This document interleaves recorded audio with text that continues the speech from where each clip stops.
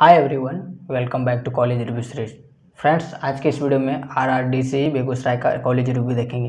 यानी कि राष्ट्र कवि Ramdhari Singh Dinkar college of engineering का फुल कॉलेज रिव्यू देखेंगे। उसका कितना हाईएस्ट पैकेज है, कितना एवरेज पैकेज है फ़र्स्ट ईयर में हॉस्टल मिलता है या नहीं, क्या फ़ी स्ट्रक्चर है और कितना कट ऑफ़ जाता है कौन कौन सा ब्रांच है। तो फ्रेंड्स वीडियो को शुरू से अंत तक देखिएगा, आपको पता चल जाएगा क्या इंफ्रास्ट्रक्चर है, कितना हॉस्टल है, कितना गर्ल्स हॉस्टल कितना बॉयज़ हॉस्टल और कौन कौन सा सोसाइटी और क्लब है। तो चलिए सबसे पहले देखते हैं फ्रेंड्स, इसका स्टेब्लिशमेंट, यानी कि बेगूसराय इंजीनियरिंग कॉलेज का स्टेब्लिशमेंट कब हुआ? तो इसका स्टेब्लिशमेंट 2016 में हुआ, ये थोड़ा न्यू कॉलेज है, बट इसका प्लेसमेंट थोड़ा ठीक है। बात करते हैं, इसका कैंपस साइज़ कितना है? तो कैंपस साइज़ 33 एकड़ में है, ज़्यादा बड़ा नहीं है, बट ठीक ठाक है, यहाँ पर सारा फैसिलिटी है। अब बात करते हैं इसका एफिलिएशन तो फ्रेंड्स, एफिलिएशन में देखते हैं तो इसका affiliation university A K U Patna, Aryabhatta knowledge Patna university से है। उसके बाद A I C T E New Delhi यानी कि All India Council of Technical Education से अप्रूव्ड है A I C T New Delhi से। इसका official website W W dot R R S D C B G S dot A C dot in उसके बाद बात करते हैं connectivity यानी कॉलेज कनेक्टिविटी कैसा है, कहाँ से पहुँच सकते हैं। तो देखिए रेलवे स्टेशन से इसका दूरी तीन किलोमीटर है, यानी कि जो बरौनी रेलवे स्टेशन है, वहाँ से तीन किलोमीटर है, और बेगूसराय रेलवे स्टेशन से ढाई किलोमीटर। उसके बाद जो बेगूसराय बस स्टैंड है, वहाँ से भी तीन किलोमीटर है। अगर आप बस से जाते हैं तो बेगूसराय बस स्टैंड से तीन किलोमीटर की दूरी पर है। उसके बाद बात करते हैं कॉलेज लाइफ, यानी कि कॉलेज के अंदर कितना बॉयज़ हॉस्टल है, कितना गर्ल्स हॉस्टल है, कैंटीन और लाइब्रेरी के बारे में। तो बॉयज़ हॉस्टल टोटल दो है, गर्ल्स हॉस्टल एक है, कैंटीन एक है, जो कि बॉयज़ गर्ल्स के लिए कंबाइंड है, और एक लाइब्रेरी है। उसके अलावा एक ऑडिटोरियम है, जहाँ पे कल्चरल इवेंट होता है। तो फ्रेंड्स, देखते हैं फ़र्स्ट ईयर में हॉस्टल मिलता है या नहीं। तो फ़र्स्ट ईयर में बॉयज़ हॉस्टल दोनों को हॉस्टल मिल जाता है।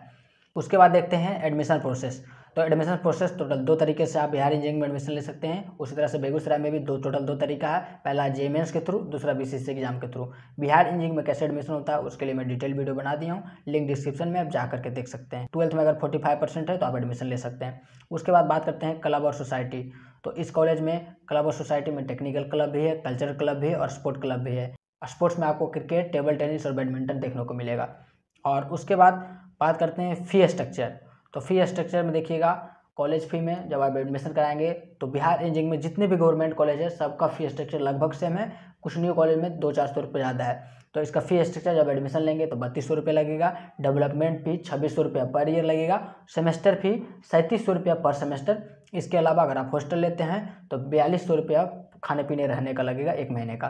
और अगर आप चाहते हैं कि आपको स्टूडेंट क्रेडिट कार्ड मिले तो स्टूडेंट क्रेडिट कार्ड भी आप अप्लाई कर सकते हैं फ़ी स्ट्रक्चर और बोनाफाइड लेकर के। कैसे स्टूडेंट कार्ड के लिए अप्लाई करना है, मैं वीडियो बना दिया हूँ, आप जा करके देख सकते हैं। प्ले लिस्ट विज़िट कीजिएगा, वहाँ पे सात आठ वीडियो है, उसको देखने के बाद आपको सारा आइडिया लग जाएगा क्या क्या प्रोसेस होता है, कब क्या करना होता है।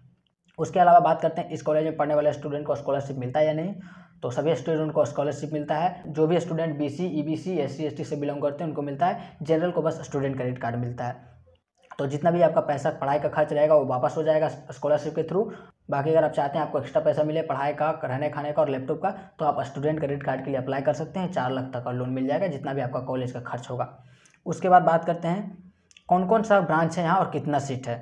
तो देखते हैं R R S D C Begusarai में सिविल इंजीनियरिंग में सिक्सटी सीट है, कंप्यूटर साइंस में sixty seat, electrical and electronics में सिक्सटी, मैकेनिकल में सिक्सटी और इस बार से न्यू ब्रांच आया है जो कि केमिकल इंजीनियरिंग और इसी बार से शुरू हो रहा है बिहार इंजीनियरिंग में और बेगूसराय में केमिकल इंजीनियरिंग आया क्योंकि इसी के आसपास बरौनी रिफाइनरी है, इसलिए केमिकल इंजीनियरिंग यहाँ दिया गया है। तो इंटर्नशिप का मौका मिल जाएगा बरौनी रिफाइनरी में अगर आप केमिकल इंजीनियरिंग लेते हैं तो। तो चलिए उसके बाद देखते हैं प्लेसमेंट कैसा है।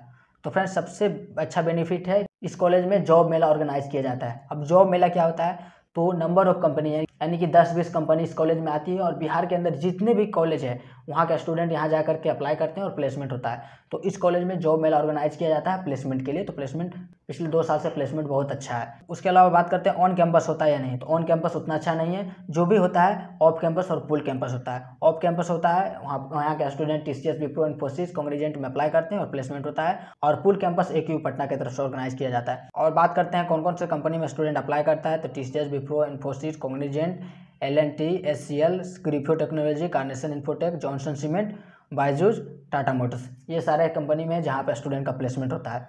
अब फ्रेंड्स बात करते हैं कि किस ब्रांच का कितना कट ऑफ़ जाता है। तो देखिए, सबसे पहले मैं कंप्यूटर साइंस ब्रांच का बताता हूँ, क्योंकि सबसे ज़्यादा high cut off computer science branch का ही जाता है। उसके नीचे सारा ब्रांच का है। मैं कंप्लीट पीडीएफ डिस्क्रिप्शन में दे दूँगा, आप जा करके देख लीजिएगा। वैसे मैं बता देता हूँ कंप्यूटर साइंस इंजीनियरिंग का।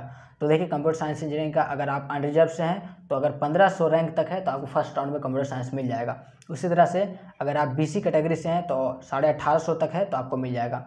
ई e में साढ़े बाईस सौ तक है तो आपको कंप्यूटर साइंस मिल जाएगा बेगूसराय में। आरसीजी में अगर साढ़े तेईस सौ तक है तो आपको मिल जाएगा।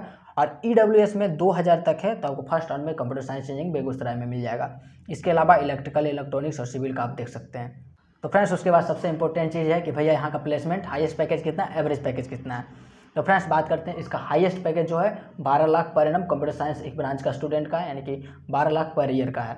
एवरेज पैकेज 3.8 लाख के आसपास हो जाता है। किसी स्टूडेंट का 3.6 का होता है, किसी का 4 का होता है, किसी का 4.8 तो एवरेज 3.8 से लेकर के 4 लाख के आसपास हो जाता है। तो फ्रेंड्स, अगर आप अच्छे से प्रिपेयर करते हैं, आप अपना स्किल लेते हैं, अपने ब्रांच के अनुसार तो आपको प्लेसमेंट हो जाएगा। क्योंकि अगर आपको ऑन कैंपस नहीं होता है तो ऑफ़ कैंपस और फुल कैंपस में ज़रूर हो जाएगा। बस आपको अपने ब्रांच से रिलेटेड कोर्स सीखना है। उसके बाद बात करते हैं, आपके मन में डाउट होगा, क्या आई कंपनी में मैकेनिकल सिविल इलेक्ट्रिकल का अप्लाई कर सकता है या नहीं? तो ज़रूर अप्लाई कर सकता है। आप कोई भी ब्रांच के लिए हैं तो mass recruiting company IT company में आप अप्लाई कर सकते हैं। वैसे मैं बिहार इंजीनियरिंग प्लेसमेंट सिनारी वाले वीडियो में बताया हूँ कि अगर आप कोई भी ब्रांच से हैं तो आप आईटी कंपनी में अप्लाई कर सकते हैं। उसको जाकर के देख सकते हैं। मैं लिंक आई बटन पर दे दूँगा। तो फ्रेंड्स, ये सारा इन्फॉर्मेशन था। तो अगर आप बिहार इंजीनियरिंग में एडमिशन लेना चाहते हैं और कम परसेंटाइल है तो इस कॉलेज को प्रीफर कर सकते हैं। प्लेसमेंट भी ठीक ठाक है, मेहनत करेंगे तो आपको प्लेसमेंट हो जाएगा, बाकी फ़र्स्ट ईयर में हॉस्टल मिल जाता है। तो फ्रेंड्स मिलते हैं नेक्स्ट वीडियो में। बाकी अगर आपको कोई और कॉलेज का कॉलेज रिव्यू चाहिए तो आप कमेंट कीजिएगा। तो फ्रेंड्स मिलते हैं नेक्स्ट वीडियो में। Bye bye